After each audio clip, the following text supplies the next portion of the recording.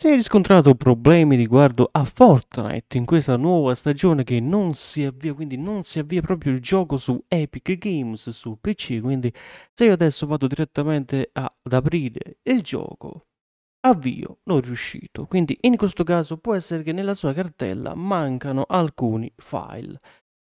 Quindi in questo caso possiamo direttamente andare un attimo su Windows Defender per non far cancellare questi file perché certe volte Windows Defender elimina questi file e non lo fa apposta, li elimina.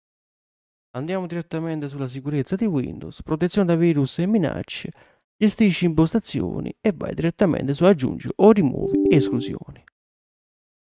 Facciamo aggiungi un'esclusione, facciamo cartella e andiamo direttamente a prendere la cartella di Fortnite. Selezioni così la cartella, così facendo Windows Defender non romperà più le scatole a Fortnite. Chiudiamo un attimo qua.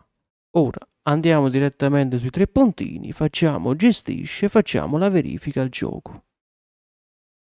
Attendiamo. Prima di avviare il gioco chiudiamo un attimo Epic Games.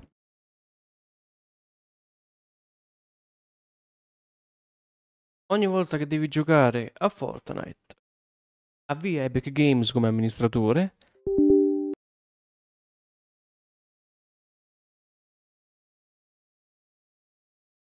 Dopodiché vai nella tua libreria e apri Fortnite. In esecuzione. L'errore avvio non riuscito non è uscito più, quindi Fortnite sta andando, inizializzazione in corso ed è partito. Per altri problemi ancora puoi guardare le altre guide su Fortnite. Nella playlist in alto a destra nelle schede ci sono veramente tantissime guide su Fortnite su come risolvere tantissimi problemi su Fortnite. Quindi grazie a tutti per questa visione. Per altri problemi cercherò di realizzare altre guide a riguardo in futuro. Commenta sotto al video. E noi ragazzi ci vediamo ad un prossimo tutorial. Ciao